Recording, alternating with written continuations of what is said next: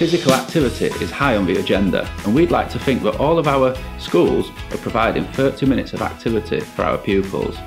I'll be riding shotgun underneath the hot sun, feeling like a someone. Over in Tockwith, they start the day by doing a wake up shake up. Wake up shake up is a way of dancing and it does what it says on the tin. It tries to wake you up and shake you by moving. And what I like about Tockwith is all the parents join in as well. And what year group are you girls in? We're in year six. So you lead the dance, you learn the dance, and then you lead it to the whole school. yeah, And how long have you been doing this for? we've been doing it for a few years Yeah. now. So the school's been doing it for a few years. Yeah. and Yeah. Does everybody seem to enjoy it? Yeah, Yeah. The year sixes lead, and then so they create a dance, and then they show it, they perform it to the whole school, and then they just copy the dance.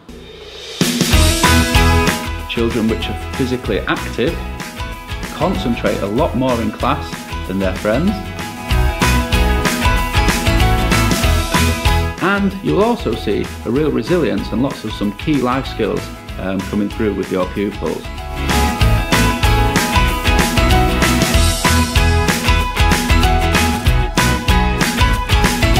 Do you have any advice to any schools who do not do skipping at the minute?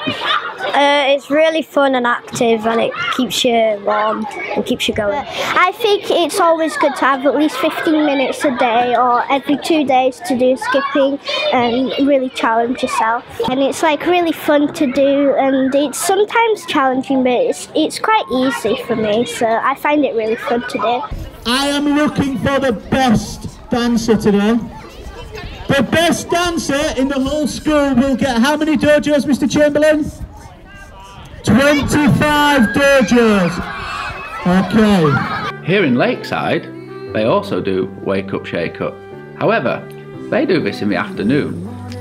Some schools have an afternoon break, and as a way of making sure that pupils get their 30 minutes of physical activity in every day, Lakeside have turned their afternoon break into a wake up, shake up in the form of dance.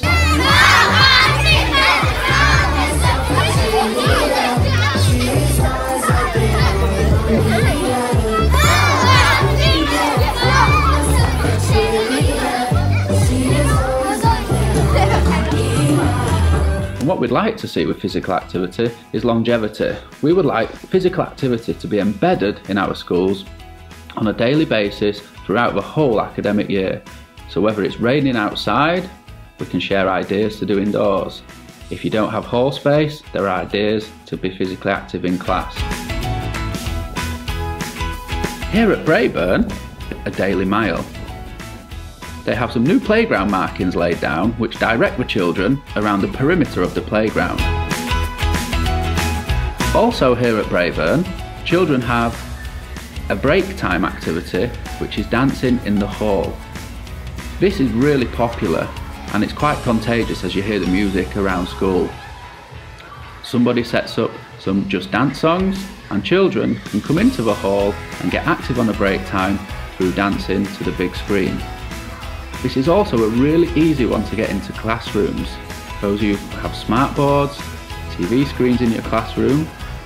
If you feel that your class needs it, by bobbing on a Just Dance song at some point in the day, it gets children up and out of their seats for 5 to 10 minutes and gives them the energy and revitalises them ready to learn.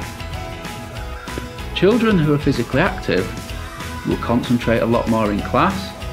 It also engages them when working independently or collaboratively with their friends and it reduces behavioural incidents. Now we don't just want to do it for these reasons, we want our children to be healthy and happy, well-rounded pupils. So by getting physically active, hopefully you'll start to see this in your schools. And as we travel around the academy, we'd like to see our children active for at least 30 minutes every day on a daily basis.